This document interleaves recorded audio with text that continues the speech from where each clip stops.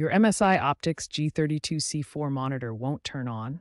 Let's work through the essential troubleshooting steps systematically, starting with the most common causes. Step 1.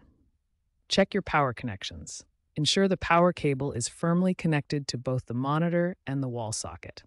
A loose connection is often the culprit behind power issues. Step 2. Test the wall outlet.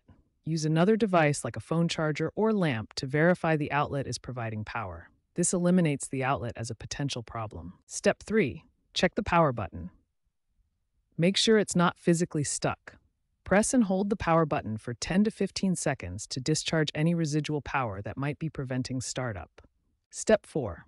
Inspect your cables. Examine both the power cable and display cables like HDMI or DisplayPort for any visible damage.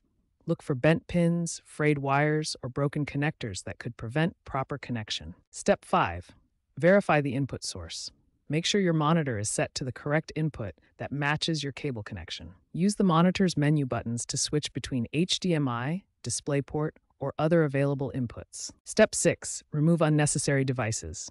Disconnect any external USB devices, speakers, or other peripherals that might be drawing power or causing interference.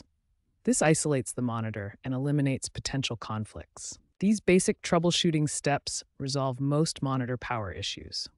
Work through each step systematically, and you'll likely identify the problem. If these steps don't solve the issue, more advanced troubleshooting may be needed.